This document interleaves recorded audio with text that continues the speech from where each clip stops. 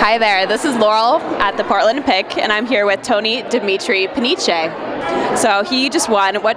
Why don't you tell us what you won tonight? Um, I just won Best Fashion Designer of the Year, and uh, I had no idea I was going to win this. It's a pretty amazing, an, an, amazing award. So I would love to hear who your inspirations are. Uh, I mean, my inspirations are mostly like my influence. You know, I'm really influenced by the rock scene, by my friends, by the eccentric people of Portland. Um, I mean, the biggest inspiration is obviously my mother, though. Um, I mean, business-wise, I mean, she's brilliant, and um, she supported you the whole way. I'm sure. Absolutely, every step of the way, she just believed in me. So. Well, where are you going next?